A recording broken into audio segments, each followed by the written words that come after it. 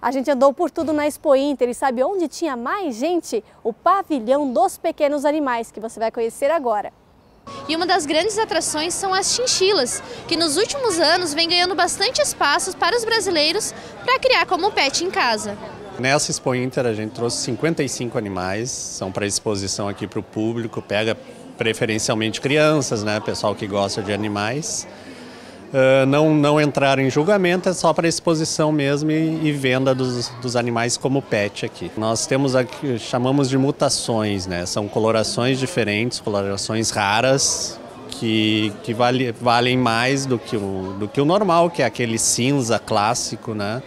São mutações mais claras, o bege, o branco. Tem, nós temos poucos exemplares que normalmente o pessoal gosta por ser diferente, né? Felizmente a gente tem uma estrutura boa aqui, né? Agora a gente tem ar-condicionado que deixa os animais muito bem, né? E, e para nós também. O que a gente vem notando há alguns anos até, a pandemia até acentuou isso é que ele cresceu muito como animal pet, o pessoal está cuidando bem, o pessoal querendo, querendo ou não a internet ajuda nesse aspecto, né? Prejudica em alguns, mas ajuda na nos cuidados, né? Então o pessoal está bem cuidadoso e ele cresceu muito e é a tendência, é uma manutenção baixa, ele interage bem com as pessoas, claro que não é um cachorro, nunca vai ser, mas é uma interação bem legal. Ei Mariana, o que, que você está achando dessa chinchila? Fofa. Ela é bem fofinha. Você já quis ter uma chinchila em casa? Tua mãe deixaria? Não sei.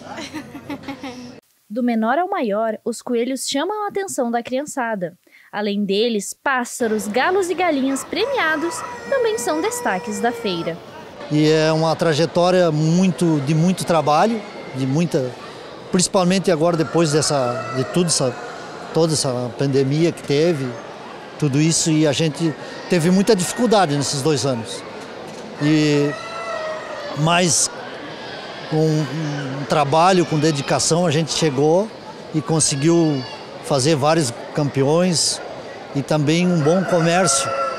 Na verdade, trouxe 89 aves. E dessas 89 aves, em torno de 30 aves premiou, de, de dimensão honrosa até primeiro prêmio. E tive o privilégio de ter, na verdade, oito grandes campeões. É uma coisa que todo criador quer chegar na Expo Inter e, e com uma representação dessa, muito mais. É emocionante, chegar numa feira do tamanho da Expo Inter, de tanta dificuldade como é o pequeno produtor, é, e isso é muito satisfatório. De cor avermelhada, rústica, menos suscetível a verminoses e com boa rentabilidade, a raça de caprinos Kalahari marcou sua estreia na feira. Ela é originária da África, da África. O animal do deserto do Kalahari, foi, foi lá que foi criada essa raça um criador amigo meu importou e aí a gente comprou os animais dele. Esses animais são frutos de transferência de embrião.